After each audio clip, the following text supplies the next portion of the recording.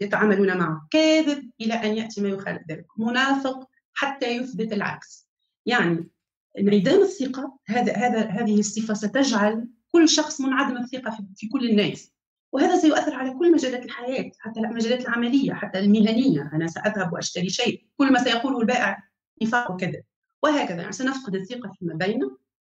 وخاصة آه، أنه هذه الصفة كما قلت تعرقل كل شيء وستجعل كل شيء صعب جدا.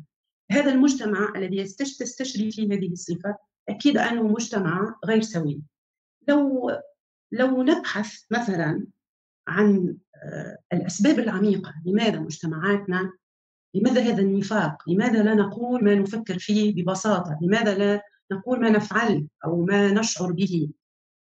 سنجد مجموعة كبيرة ضخمة من الأسباب أولها المفتاح هو القهر نحن مجتمعات مقهورة والإنسان مقهور منذ يولد حتى يموت وهو يعيش في قهر. والقهر طبعا بالضرورة المقهور سيكذب بالضرورة. مثلا إن, إن أنا آه، أعيش مع أب مثلا متسلط وعنيف وأقوم بفعل ما ويسألني طبعا لن أقول الحقيقة سأخاف من العقاب الجسدي وحتى المعنوي والنفسي. أكيد سألفق سأقول ما لا أفكر فيه. سأخفي مشاعري وأفكاري الحقيقية لأنه نمط التربية والقهر السياسة أنت إن عشت في دولة فيها قمع سياسي ودكتاتورية ربما إن لم تنافق ستسجن قد تقتل وقد لا تنال حقوقك وقد تطرد من العمل. وهنا سيتحول الإنسان من مجرد إخفاء الحقيقة مثلا أنت تسأل شخص تقول له هل لديك مشكلة في هذا النظام السياسي؟ لكي يتجنب المشاكل سيقول لك لا. هذا إخفاء الحقيقة وسيصمت. لكنه شيئا فشيئا سيتعلم النفاق. يقول لك لا بالعكس هذا أفضل نظام سياسي رأيته في حياتي وهو الأروع ونحن نمشي في الاتجاه الصحيح. لماذا؟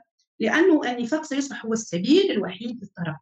سيصبح السبيل الوحيد لأن تكون مقبولا اجتماعيا وموقعك وموضعك وإلى غير ذلك سواء موضعك المهني أو الاجتماعي أو غير ذلك. إذا هي شعوب مقهورة من الأسرة العلاقات عمودية لا نقاش فيها. النقاش عيب. النقد عيب سواء على مستوى الأسرة أو في العمل أو في السياسة. أنت إذا نقدت أنت خائن. إذا نقدت أنت خائن. أو أنت تضر بمصلحة العمل. أو أنت لست بارا بوالديك إذا نقدت أو أو عبرت عن عدم موافقتك على شيء ما. لذلك فهذه السياسة التربوية القهرية ستنتج بالضرورة منافقين.